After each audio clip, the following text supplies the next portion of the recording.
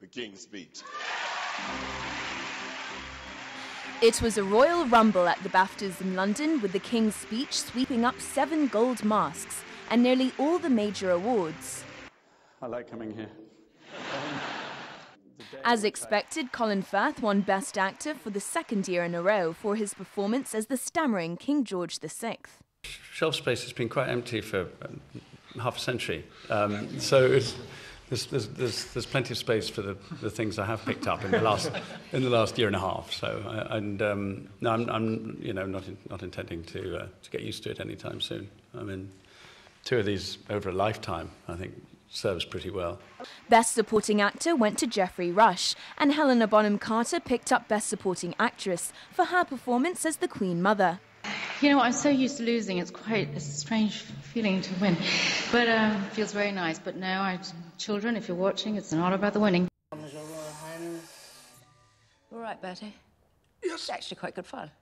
From humble, independent, low budget beginnings, the royal biopic, which tells the story of King George VI's struggle to overcome his speech impediment, has been a huge success at the global box office. The social network about the creation of the internet phenomenon Facebook won Best Director and two other awards.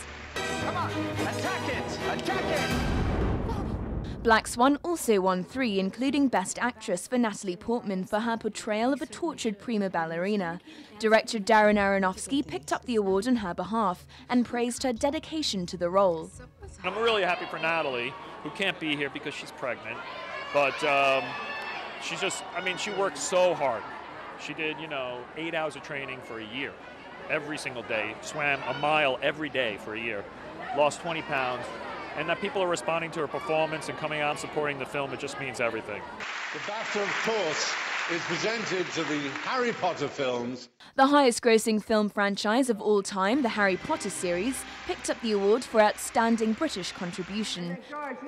The author was overwhelmed by its success. It's been just incredible to walk onto these sets and physically stand in places that I'd only seen in my head. Well, it's, it's almost indescribable, actually. It's been wonderful. The big prize of the night went to The King's Speech, which completed its award sweep by picking up Best Film. With the movie sweeping the BAFTAs so completely, it's looking like the one to watch for Oscar glory at the end of the month. Laura Westbrook, ATV News.